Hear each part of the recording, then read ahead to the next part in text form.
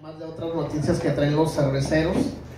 Sin embargo, voy a presentar a las personas que nos acompañan en representación de del alcalde de Mexicali, el licenciado José Luis González, quien es coordinador de la Comisión de Desarrollo Económico del Ayuntamiento de Mexicali, el ingeniero Jaime Roberts Vildósola, que es el presidente de nuestro Comité de Turismo y Convenciones de Mexicali, eh, señor Pedro Elara, quien es el presidente de la Asociación de Cerveceros aquí de Mexicali, eh, Alejandro Renault, quien es tesorero de la misma asociación, y Alejandro Larios, quien es propietario, anfitrión de este bonito lugar, pero además es propietario de este nuevo trofeo que por segunda vez consecutiva en el evento más importante de cerveceros en el país, Cervezas México, se trae el premio a la mejor cervecería del país. Eh, vamos a continuar con la rueda de prensa. Este, como parte del primer orden del día, este, ingeniero Jaime Roberts, por favor, se nos da unas palabras. Pues bienvenidos a todos. Este, muchas gracias por acompañarnos aquí en la rueda de prensa.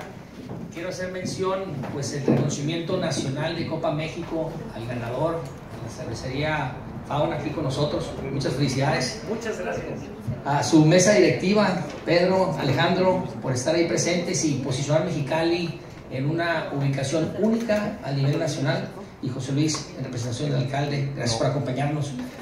Este, ahí le dice al alcalde que, que este, siento mucho el fallecimiento de su eh, suegra y, que estaremos ahí con él. Eh, regresando al tema de la cerveza artesanal, eh, es importante reconocer como Cotuco los eventos y las actividades que nos distinguen como cachanillas y que pueden distinguirnos a nivel nacional. Les quiero hacer un pequeño marco de referencia de por qué la cerveza es y será de Mexicali una característica y un rasgo típico de ser mexicalense o cachanilla.